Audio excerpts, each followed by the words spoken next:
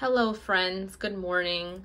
Today I'm going to show you how to save a old bread or hard bagel and make it into croutons.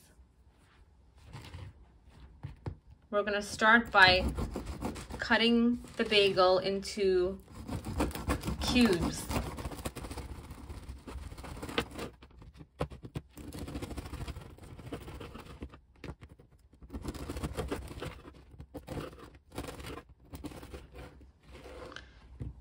Here's an example of how they would look like.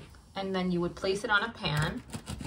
So once you layer the croutons on the pan, we're going to drizzle a good amount of Thaya organic extra virgin olive oil. I really like this one, or you could use your own olive oil onto the pan. Okay, I'm gonna be generous with my oil. And then I'm just gonna mix them up.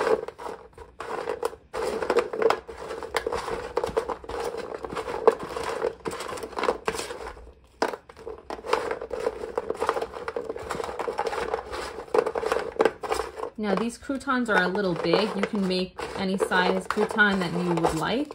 I prefer little tiny ones.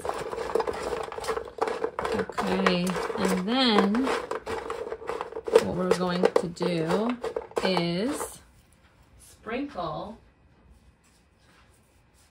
seasoning on them. This one is garlic and herb by Kinders.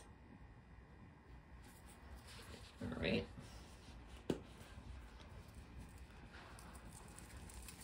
Sprinkle.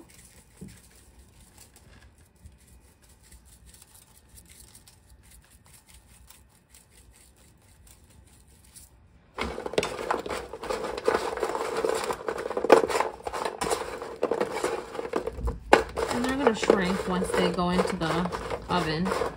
All right. So now we're going to bake them for 350 degrees for 15 minutes. Okay.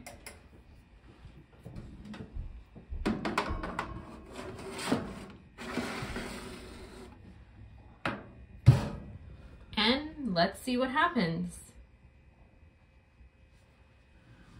All right, time's up. In 15 minutes, they're ready to go. Let's see what happens.